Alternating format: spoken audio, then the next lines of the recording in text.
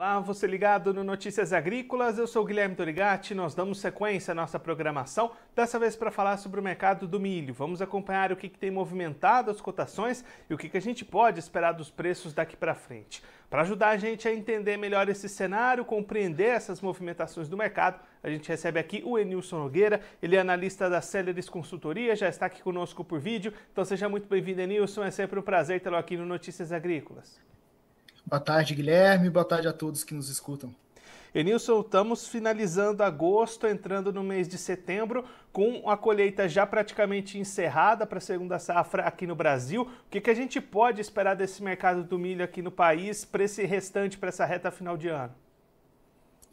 É, a gente entra nessa finalização de ano primeiro, com boa parte das lavouras já colhidas, né? A gente tem um ou outro hectare, principalmente no Matupiba, a ser colhido, mas com uma colheita, de certa forma, até rápida. E ainda com boas produtividades. Se a gente puxa todas as conversas que nós tivemos no começo do primeiro semestre, de receio de pacote tecnológico, diminuição diária pelo produtor é, de milho inverno nesse ano, no final das contas, clima ajudou, a gente está colhendo uma safra de milho próximo dos 100 milhões de toneladas, que do ponto de vista de formação de, de margens para o produtor rural é positivo. É mais produtividade para ele diluir custo, e um cenário um pouco mais positivo é, de produção ali na fazenda, nos silos, para ele comercializar. A grande discussão agora tá, continua sendo sobre preços. Né? A gente tem visto já, vindo já de 40, 45 dias de preços internacionais e queda, quando eu olho para a CBOT, mas quando eu olho para o mercado local, os preços aqui no Brasil, principalmente por uma questão de prêmios fortes um dólar um real desvalorizado, ali próximo da casa de 5,50, 5,60, isso acaba dando um tom de sustentação para preços, mesmo num cenário externo bem desafiador para a formação de preços. E aí, Nilson, esse cenário de dólar, de prêmios, também ajudou um pouquinho nas exportações nesses últimos dias, nessas últimas semanas, né? é, de forma lenta, mas o mercado de exportação começa a rodar. O ano passado foi um ano de exportações recordes, a gente exportou quase 54 milhões de toneladas no ano safra do 22 e 23. E esse é um ano que a expectativa de exportação já era menor, porque o potencial produtivo dessa safra, principalmente essa safra de inverno, foi menor do que a colhida no ano passado. E esse é um ano de é, ofertas ao redor do mundo sem muitos problemas. Então, Estados Unidos está colhendo uma safra cheia, apesar da redução diária. A Argentina recupera produtividades e também coloca bastante milho no mercado global, ao longo, colocou ao longo de 2024. Então, a competitividade para as exportações do milho brasileiro é maior agora nesse ano. Mas ainda assim, a gente vê uma sazonalidade positiva, especialmente agora nesses últimos 10, 15 dias de agosto, setembro, outubro então tem um cenário de, de aceleração de exportações de vendas externas para o mercado do milho. E aí, Nilson, daqui para frente, o que, que a gente pode esperar desse mercado? Vai seguir acompanhando bastante essas movimentações de dólar? Tem outros pontos que podem entrar no jogo? Qual que é esse cenário daqui para frente? Guilherme, a leitura que nós temos aqui dentro da Celeris é a gente vê um segundo semestre de preços um pouco mais altos, mas as reações são lentas. Por quê? O mundo está cheio de milho. Então, dentro dessa discussão toda de excesso de oferta, excesso de estoques globais de milho, por mais que agora o mercado possa andar um pouco mais, as exportações enxugarem ah, toda essa produção de inverno que a gente está colhendo, o mercado de etanol, o mercado de proteína animal consumindo esse milho, a demanda é firme, mas ainda assim a gente deve ter um restante de 24 é, de, de excesso ou de crescimento de, de, de estoques e um mercado com dificuldade de dar, é, com lentidão, melhor dizendo, de, de para novas altas. Onde que entraria possíveis novas altas? Estaria muito relacionado ao movimento cambial. E essa é um pouco do que a gente coloca como oportunidade de mercado para os produtores.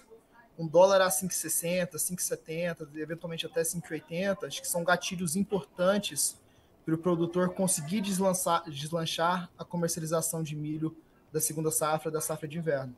Teriam elementos mais relacionados a câmbio do que a própria dinâmica e fundamento do mercado externo e interno de milho. Até porque, né, Nilson, a comercialização dessa safra ainda segue bastante lenta, né? Exato. A gente tem visto, não foi diferente com a soja no primeiro semestre, agora no segundo semestre também, é, o produtor acaba olhando para trás os preços ali ao longo de 22 até o começo de 23 como uma referência. Mas como os fundamentos mudaram, é, a gente tem que olhar para frente para fazer a negociação e a comercialização desse milho. Então, ainda bastante atrasado, é, a safra 23, 24, especialmente agora é, é, a safra de inverno, mas a gente vê sim que provavelmente nos próximos 30, 60 dias, com o mercado de exportação um pouco mais ativo, as indústrias internas comprando, que o produtor possa ter um pouco mais de oportunidade de comercialização desse milho e pelo menos retornar às médias históricas é, de comercialização da safra de inverno.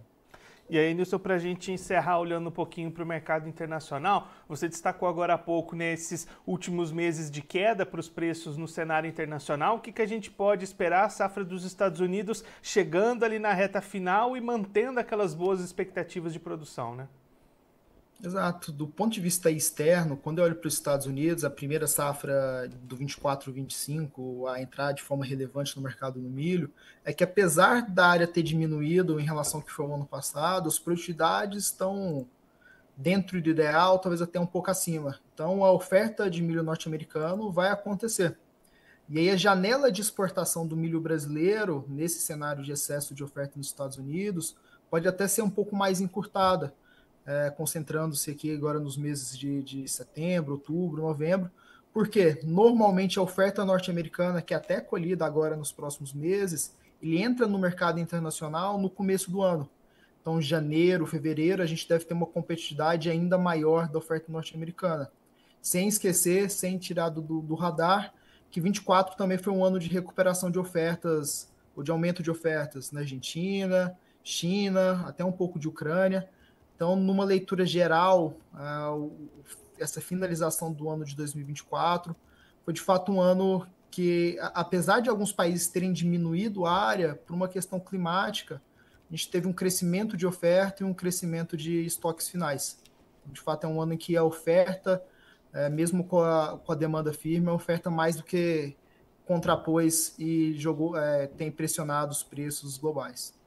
Enilson, muito obrigado pela sua participação, para ajudar a gente a entender melhor todo esse cenário para o mercado. Se você quiser deixar mais algum recado, destacar mais algum ponto, pode ficar à vontade. Agradeço a participação e acho que o ponto agora é com a finalização da colheita, principalmente oportunidades de câmbio serão gatilhos para novas vendas, para negócios é, que tenham minimamente uma margem e que são podem devem ser encarados como oportunidade para o produtor de milho até o final desse ano. Enilson, mais uma vez, muito obrigado. A gente deixa aqui o convite para você voltar mais vezes, a gente seguir acompanhando essas movimentações do mercado do milho. Um abraço, até a próxima. Obrigado, até mais. Esse o Enilson Nogueira, analista da Celeris Consultoria, conversou com a gente para mostrar como é que está o atual momento para o mercado do milho e o que, que a gente pode esperar daqui para frente para esses preços nesses últimos quatro meses de 2024. Eles estão destacando que com o término dos trabalhos de colheita para a segunda safra aqui no país, a expectativa do mercado é que um aumento de demanda pelo milho brasileiro seja para as exportações, que podem deslanchar nesses próximos meses, ou para o mercado interno, com a chegada ali de indústrias para ração, indústrias de etanol, pode melhorar um pouquinho essas cotações, mas com uma velocidade lenta de recuperação. O que pode aparecer no radar para dar alguma velocidade maior para a alta desses preços são as movimentações cambiais. E nisso destacando que dólar na faixa dos 5,60, 5,70 podem ser importantes gatilhos para comercialização. E aí o produtor que ainda está bastante segurando essa oferta da segunda safra, comercialização bastante lenta até aqui no país, pode aproveitar esses momentos de oscilação cambial para avançar com a sua comercialização. Essa é a leitura do Nilson Nogueira lá da Celeris Consultoria. Agora, antes da gente encerrar, vamos verificar como é estão as cotações do milho nas bolsas neste momento. Começando pela Bolsa de Chicago, você vai ver aí na tela milho em alta nesta sexta-feira. Contrato setembro 24 vale 3 dólares e 76 centes o bushel, elevação de 4,75 pontos. O dezembro 24 vale 4 dólares o bushel, alta de 4,50 pontos. O março 25 vale 4 dólares e 18 centes o bushel, elevação de 4 pontos. E o maio 25 sobe 3,25 pontos e é cotado a 4 dólares e 27 centes o bushel. Agora a Bolsa Brasileira B3, você está vendo as cotações aí na tela, também alta para o milho aqui no Brasil neste último dia da semana e último dia de pregão também do mês de agosto. Setembro 24 vale R$ 61,59 a saca, alta de 0,98%. O novembro 24 sobe 0,55%, é cotado a R$ 63,92 a saca. E o janeiro 25 vale R$ 67,42 a saca, ganho de 0,54%. Agora eu vou ficando por aqui, mas a nossa programação volta daqui a pouquinho. Notícias agrícolas, informação agro relevante e conectada. you